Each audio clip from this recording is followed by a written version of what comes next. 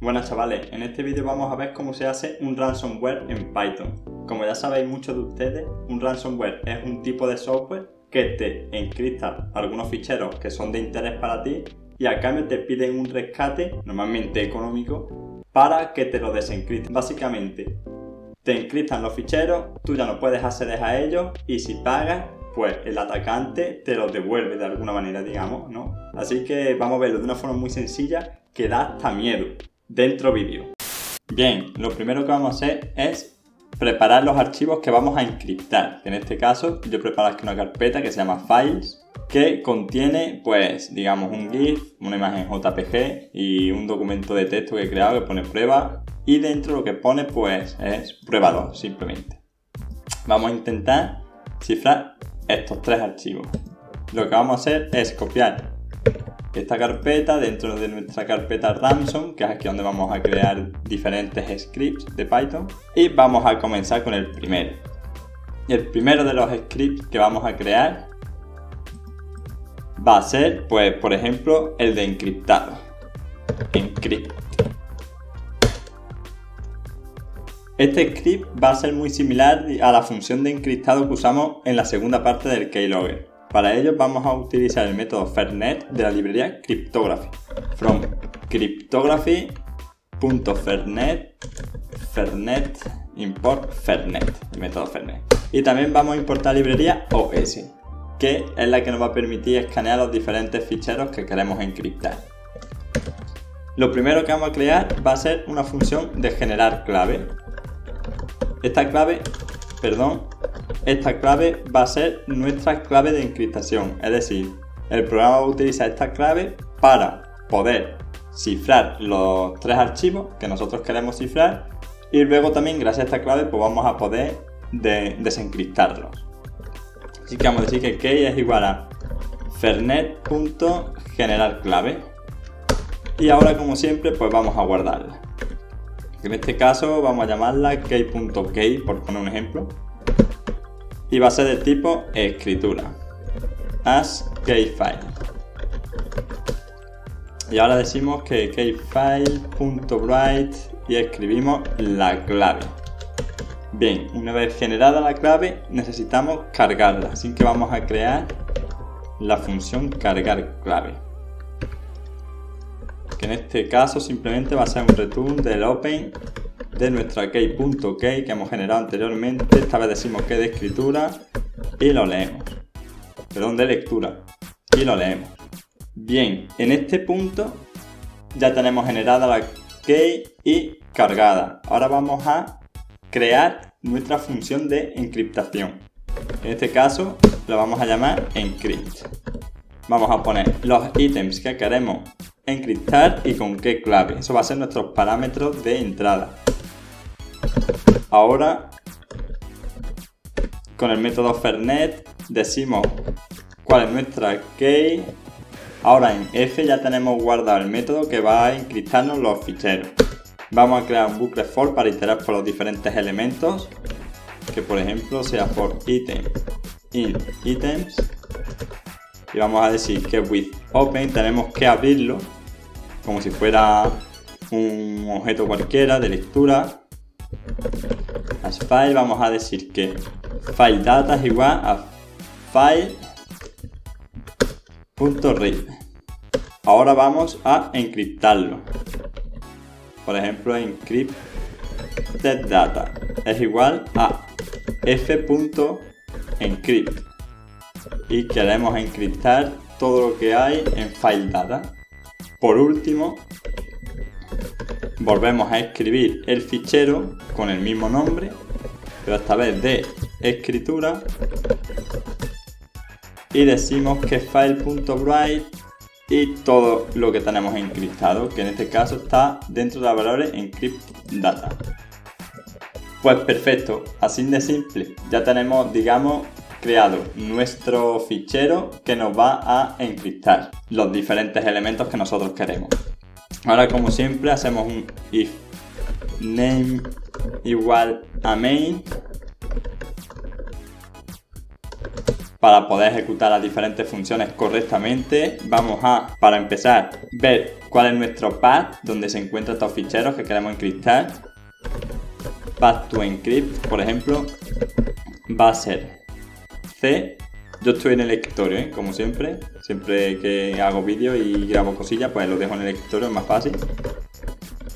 Users, Rodgo, que es mi usuario, desktop, ransom, que es la carpeta que tengo yo aquí en el escritorio, y la carpetita files.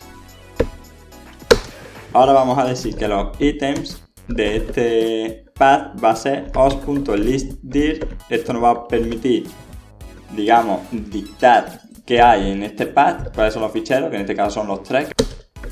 Y el full path es igual a Ahora vamos a añadir este path a los diferentes elementos para tener el path al completo.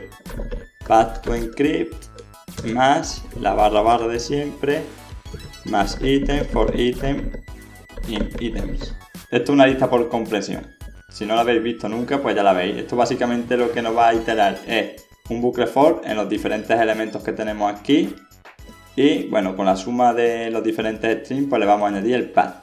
Y ya vamos a tener el path completo. Continuamos generando la clave y cargando esta misma clave. Ya tenemos la clave generada, ahora podemos llamar a nuestro método encrypt. Full path va a ser la ruta donde tenemos los diferentes elementos y le pasamos la clave. Con este método aquí conseguiríamos encriptar o cifrar los diferentes elementos como nosotros queremos. Pero además vamos a crear un ficherito de texto que se va a llamar readme.txt donde vamos a pedir un rescate, ¿no? Porque esto es lo que caracteriza al ransomware. Te cifro los ficheros y ahora te pido un rescate para desencriptarlo.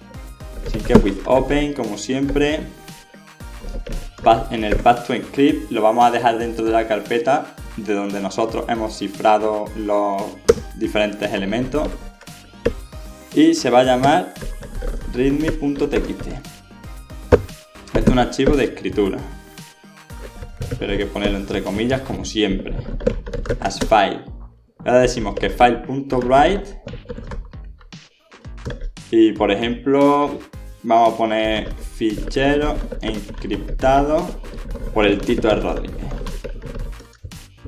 Vamos a poner un salto de línea y vamos a escribir una línea más. Por ejemplo, dame una suscripción para desencriptar. Thanks.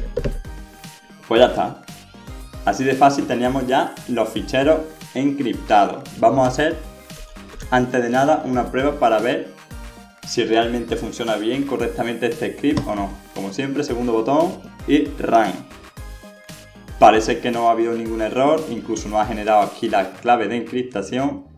Y vamos a echar un vistazo a los ficheros. Como vemos, aquí tenemos los diferentes ficheros, pero ahora si queremos abrirlos, por ejemplo, prueba TXT, ya no tenemos prueba 2, ahora tenemos este contenido de aquí que está cifrado. Y si queremos abrir cualquier imagen de esta, como vemos, no la vamos a poder abrir. Parece que el formato no es compatible. También se ha guardado aquí el fichero readme.txt donde pedimos el rescate. Fichero encriptado por el Tita Rodinger. Dame una suscripción para desencriptar. Gracias. Bien, una vez tenemos esto hecho, pues ya nos encontramos, digamos, en las condiciones necesarias para desencriptarlo. Ahora hemos creado nuestro primer fichero encrypt, ahora vamos a crear nuestro fichero decrypt. Bien, continuemos con el desencriptado. Vamos a crear un nuevo fichero que se va a llamar decrypt en este caso. Y como antes, vamos a importar la librería Cryptography, Fernet y OS. Vamos a necesitar cargar la clave, por tanto directamente voy a copiar la función de cargar clave y ahora voy a tener que generar la función de decrypt. En este caso, pues, bueno, decrypt mismo la podemos llamar. Los elementos que queremos desencriptar y la clave para desencriptar. Volvemos a llamar al método fernet con nuestra clave. E iteramos en los diferentes elementos de ítems. For item in items. Ahora abrimos los diferentes elementos. Como siempre, with open, item. Esta vez es de lectura binaria, como un fichero. Y decimos que encrypted data es file.read. Ahora lo desencriptamos, por ejemplo, decrypted data es igual a f.decrypt y los datos encriptados. Por último, volvemos a escribir estos ficheros, esta vez de escritura binaria, y aquí es item, no items, as file y decimos que file.write decrypted data. Estupendo. Con esta función, en teoría, hemos vuelto a cargar los datos que estaban esta vez encriptados y lo hemos desencriptado con la función decrypt de Fernet, con nuestra clave. Y como siempre, para ejecutarlo, if name es igual a main, pues el path de desencriptado es el mismo, que lo copio directamente. Ahora vamos a eliminar nuestro fichero donde pedimos el rescate, que es el readme.txt.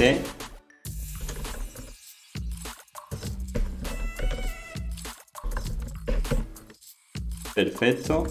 Ahora vamos a cargar los ítems que queremos desencriptar, que es path to encrypt el path al completo será path to encrypt más doble barra más item por item in items y nada, ahora simplemente cargamos la clave y llamamos al método decrypt con los full path, que donde está el path al completo de nuestros elementos encriptados y nuestra clave. Pues nada, simplemente vamos a probarlo. Vamos a correr este script.